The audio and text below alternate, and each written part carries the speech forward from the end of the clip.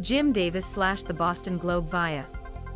The Tollater of the Boston JD Martinez is exchanged for the line of August 2nd of MLB, even if the club changes things and begins to work better, according to Alex Speier of the Boston Globe. An executive of the American League told Speier that he believes that Martinez is as good as missing. The Red Sox are buying Martinez before the line, Buster Olney from ESPN reported earlier this week. Ken Rosenthal of Athletics added that he is generating interest of New York Mets. Martinez is in the last season of the five-year agreement and $110 million that he signed with the Red Sox before the 2018 season and will become a free free agent at the end of the year.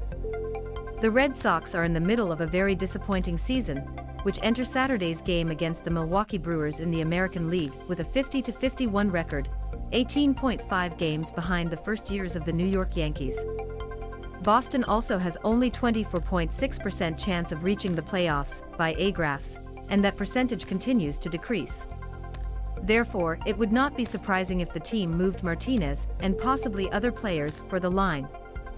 Martinez has spent the last five seasons of his career with the Red Sox and was essential to help them win the 2018 World Series.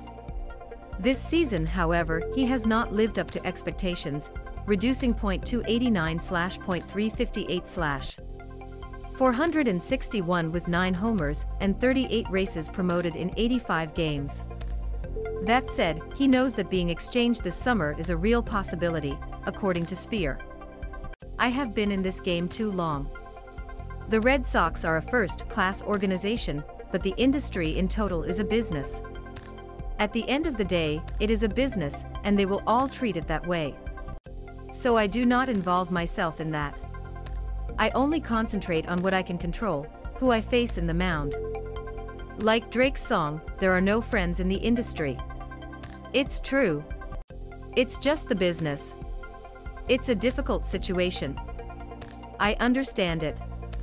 But while Martinez can be moved, the star Campocorto Xander Bogaerts, who is expected to reject his player's option by 2023 to become a free agent this winter, said the Red Sox told him that he will not be changed.